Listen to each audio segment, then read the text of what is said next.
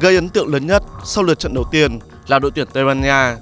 Thầy trò huấn luyện viên Luis Enrique là đội bóng có chiến thắng đậm nhất ở World Cup 2022 cho đến lúc này khi họ đánh bại Costa Rica với tỷ số 7-0. Đó là trận đấu mà đội bóng xứ đấu bò kiểm soát hoàn toàn thế trận. Thậm chí không cho Costa Rica có nổi một cú sút trúng đích nào. Những cầu thủ trẻ như Gavi, Ferran Torres đã chơi rất chững chạc và sức trẻ của họ đã mang đến làn gió mới cho những chú bò tót.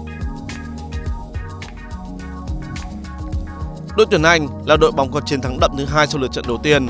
Họ đã vượt qua Iran với tỷ số 6-2 trong ngày ra mắt. Giống như Tây Ban Nha, đội tuyển Anh đang có một dàn ngôi sao trẻ tài năng với những cầu thủ như Saka, Bellingham, Mason Mount bên cạnh những cầu thủ giàu kinh nghiệm như Harry Kane, Sterling. Chỉ còn một chút lo lắng cho đội tuyển Anh là hàng thủ của họ vẫn còn mắc nhiều sai sót và để Iran chọc thủng lưới đến hai lần. Đội tuyển Pháp đã thể hiện được đẳng cấp của nhà đương kim vô địch với chiến thắng đậm 4-1 trước Australia ở lượt trận đầu tiên.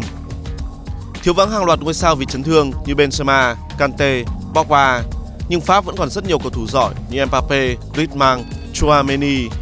Tiền đạo Giroud 35 tuổi nhưng cũng đã hoàn thành xuất sắc nhiệm vụ thay thế Benzema với một cú đúp trong trận mở màn. Với màn trình diễn đó, Pháp xứng đáng là ứng cử viên hàng đầu cho ngôi vô địch. Brazil đã khởi đầu World Cup của mình với chiến thắng 2-0 trước Serbia. Đó là một trận thắng không dễ dàng nhưng cho thấy khả năng vượt khó của gã khổng lồ Nam Mỹ. Với hàng loạt những ngôi sao tấn công như Neymar, Vinicius, Richarlison, Brazil có rất nhiều phương án để phá vỡ hàng phòng ngự số đông của đối thủ. Điều lo lắng nhất với thầy trò luyện viên Tite là chấn thương của Neymar khi anh đã phải rời sân ở hiệp 2 sau một pha va chạm với hậu vệ của Serbia. Bồ Đào Nha đã khởi đầu World Cup 2022 một cách khá vất vả với chiến thắng 3-2 trước Ghana.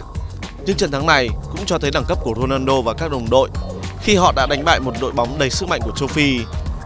CR7 đã không còn tốc độ và kỹ năng săn bàn như trước, nhưng kinh nghiệm của anh cộng thêm những ngôi sao xung quanh như Bruno Fernandes, Bernardo Silva, Hao Cancelo có thể giúp Bồ Đào Nha tiến xa. Ở lượt trận đầu tiên, hai gã khổng lồ Argentina và Đức gây thất vọng lớn khi thua trước các đại diện của châu Á là Ả Rập Xê Út và Nhật Bản. Tuy nhiên, chưa thể gạch tên những đội bóng này khỏi cuộc đua vô địch.